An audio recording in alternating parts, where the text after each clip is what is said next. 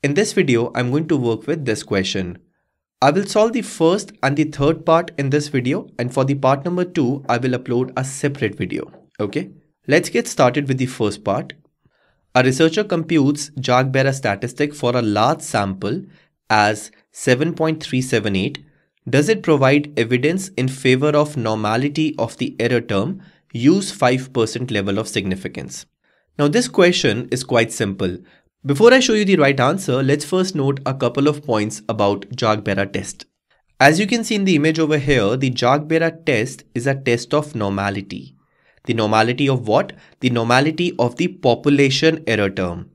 This is an asymptotic or large sample test. That means this test gives good results if you're working with a large sample, which we are in this particular case. The formula that we have to find the test statistic is this, where n is the sample size, s represents skewness, and k represents kurtosis.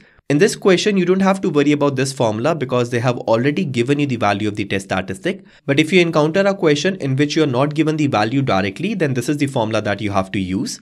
And now because you're already given the calculated value, all you have to do is figure out the critical value and then compare the calculated and the critical value. Now let's see what is it that they have written about the critical value. They have shown that under the normality assumption, the JB statistic given in equation number 3.47, that is this, follows the chi-square distribution with 2 degrees of freedom asymptotically, that is in large samples. So this means to find the critical value, you have to take a look at the chi-square table and you have to look for 2 degrees of freedom. Okay. Now let's start writing the solution. So in this case, the null hypothesis is going to be that the population errors are normally distributed. So your null hypothesis is that population errors are normally distributed. Note that I have written population error because we are talking about the test of normality of the population error term. And the alternate hypothesis is going to be that your population errors are not normally distributed. So population errors are not normally distributed. Okay. Now we are already given the calculated value. So let's just talk about the critical value. For the critical value, we have to find the value of chi-square at 2 degrees of freedom. So to visualize this, take a look at this distribution that I'm drawing over here.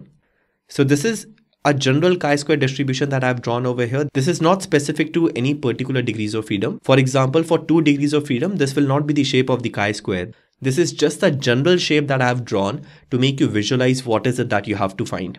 So we are given that we have to test for 5% level of significance. So for the critical value, you have to find that value of chi-square to the right of which you have 5% area. That means the probability is 0.05. So you have to find this particular value and you can easily find it from the chi-square table. You are already given that the degrees of freedom is equal to 2. Now see, I'm not going to show you how to take a look at the chi-square table in this video as I have already explained that in some other video.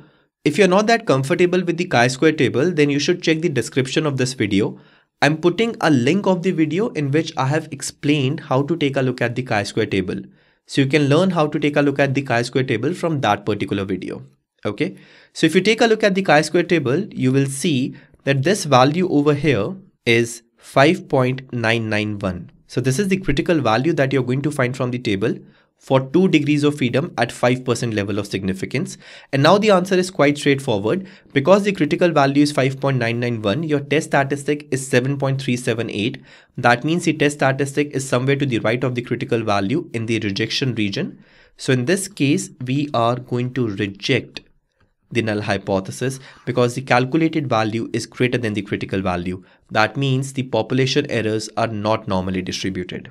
Okay, so that's it for this part. Let's move to the next part now. We are given this information and we have to obtain the OLS estimators of beta 1 and beta 2 for the two variable model that is this model. So first of all, let me clear the notations over here. I'm going to call the estimator of beta 1 as B1 and I'm going to call the OLS estimator of beta 2 as B2. So these are the notations of the estimators that I'm going to use. Now if you know your formulas well, then you should know that b1 is equal to y bar minus b2 x bar and b2 is equal to summation of xi minus x bar multiplied with yi minus y bar divided by summation of xi minus x bar whole square. And you have to find the value of b1 and b2 given this information over here. Now note that before you could find b1, you need to find b2 because the formula for b1 has b2 over here. So let's talk about b2 first. Now note that there are various formulas to calculate the value of b2. Generally speaking, many students remember this formula, but in this case, you cannot use this formula directly because the information that's given to you is not in this particular manner. So they have not given you the value of the denominator directly or they have not given you the value of the numerator directly.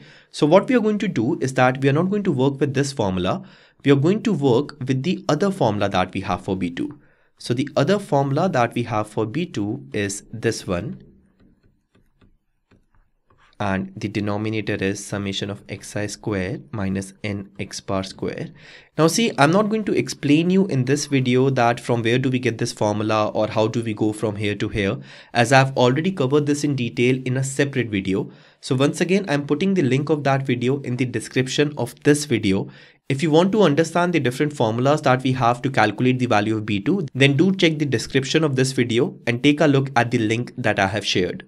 Okay, so assuming that you're okay with this formula, let's proceed further. So first of all, I'm going to find the value of B2. So B2 is equal to, the first term over here is summation of xy. You are directly given the value of that. It's 411000. So this is 411000 minus n is 10. Then you have x bar and y bar. You're not given the value of x bar and y bar directly, but it's quite simple to find. We know that x bar is equal to summation of xi over n and we are given that summation of x is equal to 3400 so this is 3400 divided by 10 because n is equal to 10 so this is 340 similarly y bar is equal to summation of yi over n. We are given that summation of y is triple two zero. So this is equal to triple two zero divided by 10 and this is triple two. So x bar is 340 y bar is triple two. We can put over here the value of x bar. We can put over here the value of y bar so this is your numerator and in the denominator the first term is summation of xi square which is this. So 6 double 4 triple 0 and the second term is n x bar square. So n and the square of x bar so 340 square. And if you solve this you will get that b2 is equal to 0 0.6714. So B2 is equal to this. Now once you know the value of B2, it's quite simple to find the value of B1 b1 is equal to y bar minus b2 x bar. I already know that y bar is 222. So 222 minus 0.6714 multiplied with x bar that is 340 and if you solve this you will get that b1 is equal to minus 6.276 and that's it. This question was quite straightforward. The only thing that you have to be careful about is which formula of b2 you have to use so in this question, the information was given in such a manner that using this particular formula makes sense. And this is the reason you should be familiar with different formulas to calculate B2 because they can give you information in such a manner that using one particular formula will save you a lot of time in the exam. Okay. So with this, we are done with the first and third part of this question. I will discuss the second part of this question in my next video.